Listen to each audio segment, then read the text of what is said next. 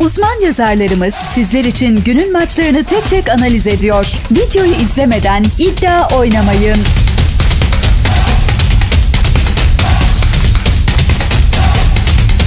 Almanya Bundesliga'da Köln ile Werder Bremen karşı karşıya geliyor. 17 puanla 13. sırada yer alan Köln düşme potasının 3 puan üzerinde yer alıyor. Son 5 maçından 1 puan çıkarabilen Köln iç sahada kazanıp moral bulmak istiyor. Werder Bremen ise 21 puanla 9. sırada yer almakta. Köln ile oynadığı son iki maçından da beraberlikte ayrılan Werder Bremen deplasmandan yine puan ve puanlar çıkarma peşinde, zorlu bir karşılaşma olmasını bekliyorum. İki takım da gol ve goller bulur. KG var 1.34-20-30.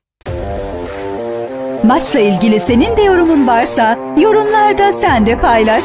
Videomuzu beğenip kanalımıza abone olmayı unutmayınız.